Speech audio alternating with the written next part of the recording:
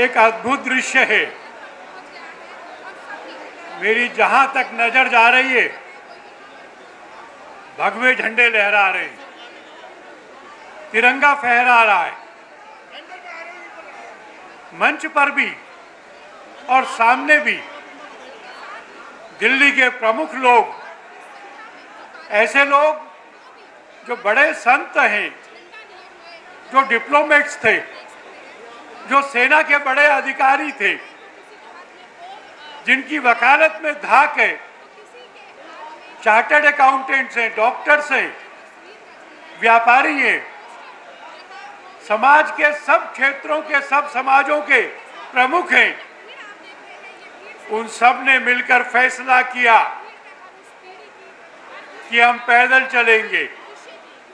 मंडी house से यहाँ तक पैदल चलेंगे। एक संकल्प बताने के लिए देश का।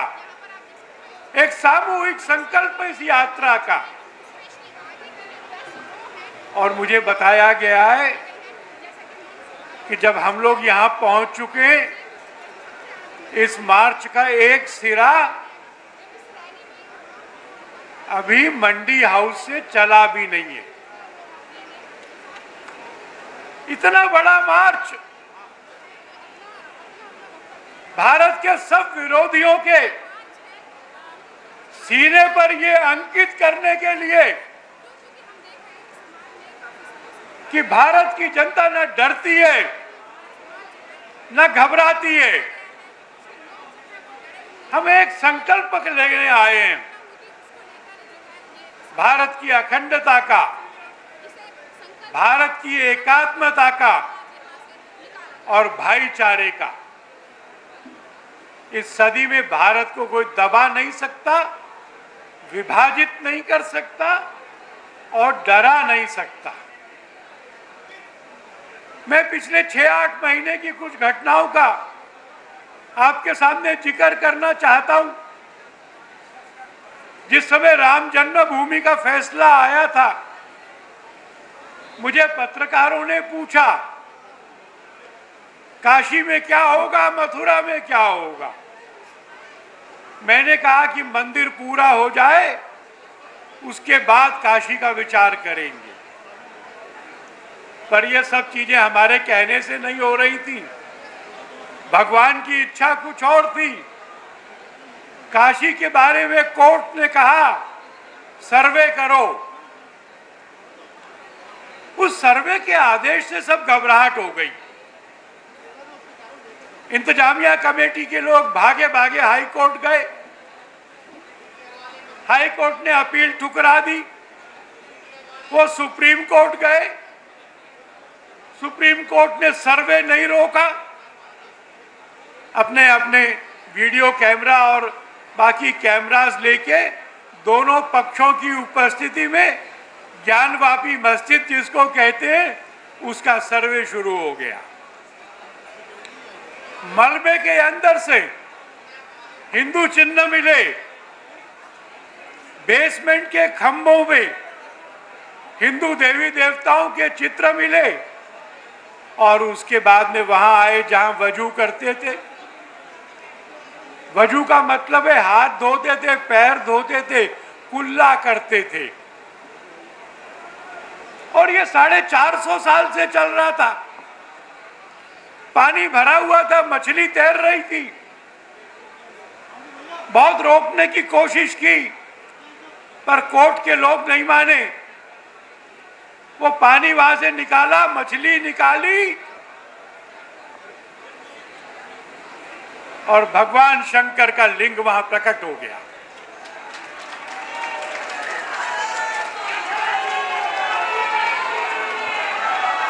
साढ़े आठ फुट का व्यास है। पत्थर का बड़ा शिवलिंग प्रकट हो गया।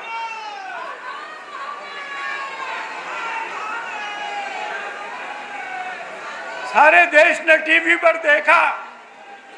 जिनके मन में शक था, वो दूर हो गया। यह शिवलिंग आज है। यह शिवलिंग 1947 में भी था। इक्यावन का कानून लागू नहीं होगा। ये मस्जिद नहीं है। ये हिस्सा हमारा मंदिर है।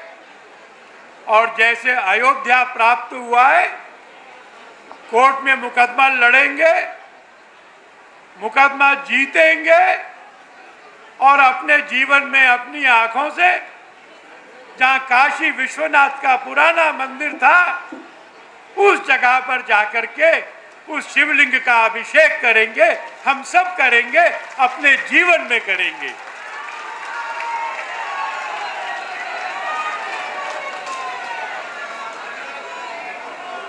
जिस दिन जिस दिन शिव जी वहाँ प्रकट हुए, उसी दिन मथुरा में डिस्ट्रिक्ट जज डिस्ट्रिक्ट जज की कोर्ट ने कहा कि मथुरा का मुकदमा जो सिविल जज ने खारिज कर दिया था, वो आगे चलेगा।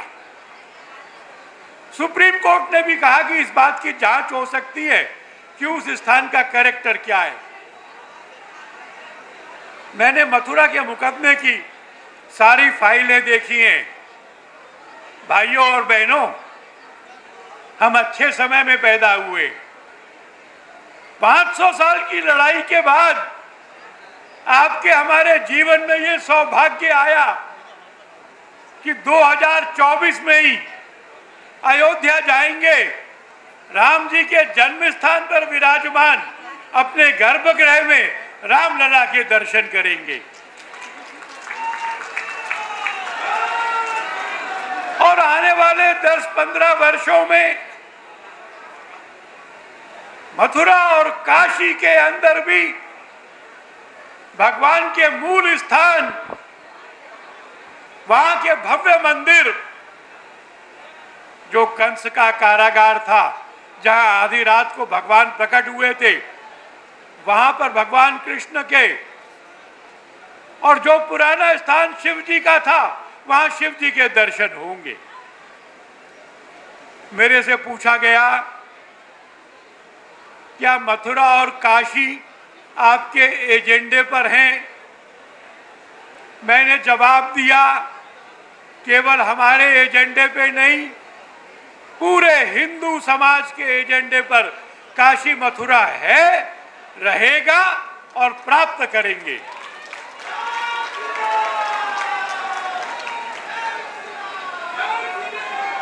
कुछ लोगों को परेशानी होने लगी। उनको लगा विषय बदला जाए, भटकाया जाए। किसी एक डिबेट में एक बहन ने कुछ कह दिया। पूरी दुनिया में शोर मचाने लगे। भारत सरकार ने एफआईआर दर्ज कर ली। पुलिस जाँच कर रही है। पर इस जाँच की इंतज़ार किए बगैर देश भर में ऐसे जलूस निकाले गए, जिसमें हिंसा की गई और जिसमें मंच पर खड़े होके किसी कठमुल्ले ने कहा, नबी की ओर आँख उठाओगे, आँख फोड़ देंगे, जवान काटो, जवान चलाओगे, जवान काट देंगे, गर्दन उठाओगे तो शरीर से जुदा कर देंगे। मैं आज की रैली में आत्मविश्वास से घोषणा करता हूँ। दसों दिशाओं को सुनाकर घोषणा करता हूँ।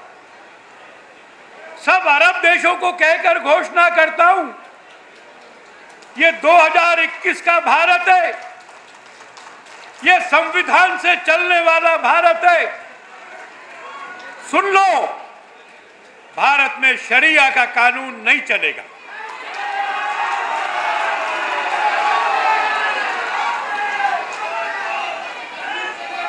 चौदह सौ साल पुराना कानून, जिसमें चोरी पर हाथ काटने का दंड होता है, पत्थर मार के हत्या करने का दंड होता है, ये नहीं चलेगा। जिहाद नहीं चलेगा। और जिन्होंने भी ये धमकियाँ दी हैं, उन सब का स्थान उस जेल में होगा। जहाँ कैदियों को चक्की पीसनी पड़ती है। कोर्ट जाँच कर रही है। कोर्ट जाँच करके फैसला देगी। कोई भीड़ फैसला नहीं कर सकती कि कौन दोषी है। कोई भीड़ दंड नहीं दे सकती। मैंने नुपुर का बयान सुना है। मैंने पाँच छह बार सुना है। नुपुर ने हज़रत मोहम्मद साहब के जीवन की दो घटनाओं का ज़िक्र किया है। वो घटनाएँ घटी थी, इस पर विवाद नहीं है। नुपुर ने तो कोई टिप्पणी भी नहीं की। कोर्ट को फैसला करना पड़ेगा कि भारत में हमारी अभिव्यक्ति की जो आज़ादी है, उसकी सीमा क्या है। वो हमारे धर्म का अध्ययन करते हैं। वो हमारे राम जी के बारे में आपत्ति उठाते। हम तो भड़क कर गला काटने नहीं जाते। क्या हमें इस्लाम धर्म और नबी के जीवन को अध्ययन करने का अधिकार है कि नहीं है? उस अध्ययन करने में अगर हमारे मन में कुछ सवाल उठे तो उन सवालों को पूछने का अधिकार है कि नहीं है?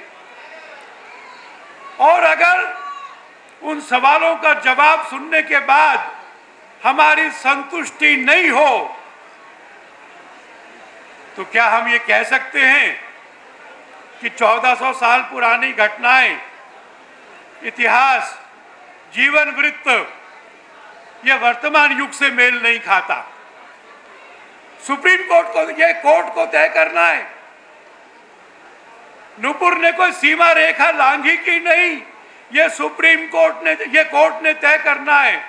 और जब तक मैजिस्ट्रेट की कोर्ट उसको दोषी करार नहीं देती, तब तक नुपुर को निर्दोष माना जाएगा।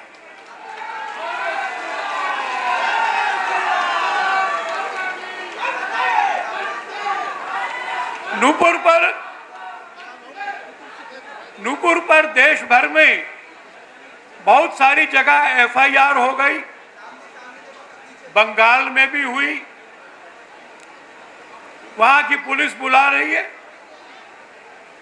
बंबई में जब पुरानी शिवसेना का राज हुआ तो वहाँ भी हुई। वहाँ की पुलिस बुला रही है। नुपुर सुप्रीम कोर्ट गई। और इसलिए गई कि अभी थोड़े समय पहले अर्णब गोस्वामी का मुकदमा हुआ था। अर्णब गोस्वामी सुप्रीम कोर्ट गए थे। उन्होंने कहा था, एक सुप्रीम कोर्ट ने कहा, एक मामले में एक एफआईआर होती है। बाकी नहीं चल सकती। एक ही जगह जाँच होगी। और सारे देश में चल रही सब एफआईआर्स को दिल्ली बुला लिया था। नुपुर ने कोर्ट से कहा कि जो लोग मेरा ट्वीट कर रहे हैं, उनकी हत्या हो रही है। देश के वातावरण में गर्मी है। मेरा सिर काट के लाने वाले पर पुरस्कार की घोषणा हो रही है। तो नुपुर ने कहा, मेरे मुकदमे दिल्ली में कर दो। मुझे निराशा हुई इस बात पर कि सुप्रीम कोर्ट ने यह काम नहीं किया। सुप्रीम कोर्ट के दो जज। हैं मैं एक जिम्मेवार वकील हूँ, इसलिए मैं उन जजों की बैकग्राउंड में नहीं जाऊँगा। पर उन्होंने जो टिप्पणियाँ की हैं, वो ऑर्डर में लिखी नहीं है। उनकी टिप्पणियों को सुप्रीम कोर्ट का आदेश नहीं माना जा सकता। और इसलिए मैं इतने लोगों के बीच में ये कहना चाहता हूँ कि सुप्रीम कोर्ट ने अपनी मर्यादा को भंग करके लक्ष्मण रेखा लांगी उनको यह फैसला नहीं करना था कि नुपुर दोषी है कि नहीं। यह फैसला मजिस्ट्रेट करेगा। कार्रवाई पूरी करने के बाद करेगा। गवाही सुनेगा, बहस सुनेगा, तब फैसला करेगा। सुप्रीम कोर्ट को क्या अधिकार था कि वो टिप्पणी करते? और टिप्पणी की तो लिखी क्यों नहीं? हम सुप्रीम कोर्ट का आदर करते हैं, पर सुप्रीम कोर्ट के जजों को इस बात की चिंता करनी होगी कि यह आदर बना रहे।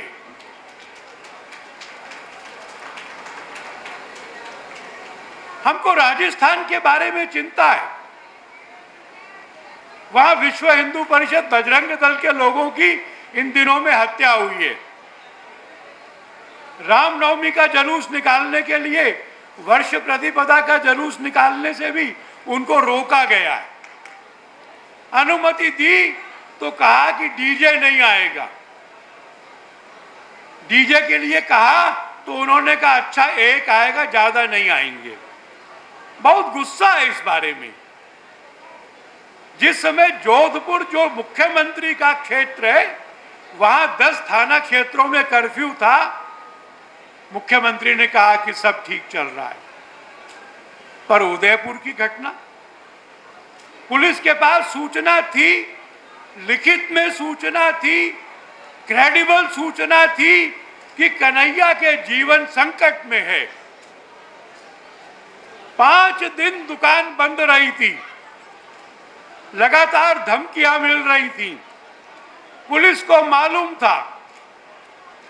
उसको कोई सुरक्षा नहीं दी गई। और इसलिए दो आतंकवादी जिहादी दिन दहाड़े गए, दुकान से घसीटा 26 चाकू के वार किए और उसकी हत्या हो गई। हम राजस्थान सरकार को भी लापरवाही मानते हैं। और मैं इस सभा में मांग करता हूँ कि अमरावती में भी, उदयपुर में भी जो हत्यारे हैं, जल्दी जाँच पूरी करो, एक हफ़्ते में रिपोर्ट फ़ाइल करो, फास्ट ट्रैक कोर्ट में मुकदमा चलाओ।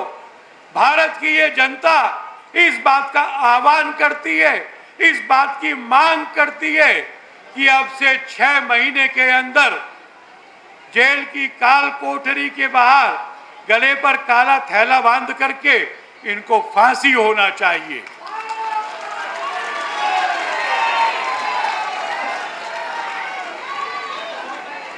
विश्व हिंदू परिषद ने प्रत्येक राज्य के लिए हेल्पलाइन जारी कर दी है।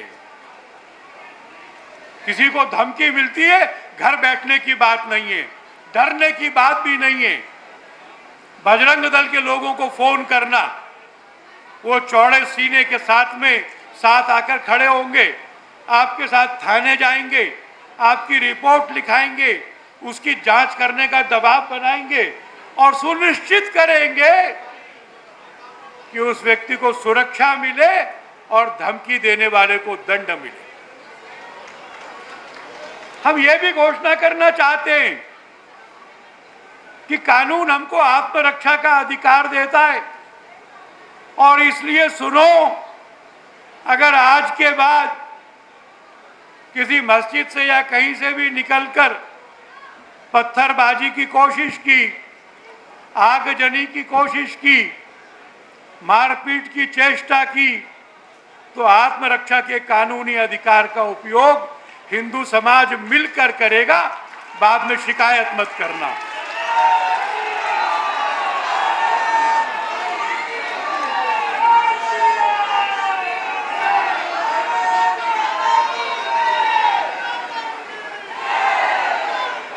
हमारे बजरंग बल के, हमारे बजरंग दल के लोगों का एक नारा है। वो कहते हैं, बजरंग दल के चीते हैं, अपने दम पर जीते हैं।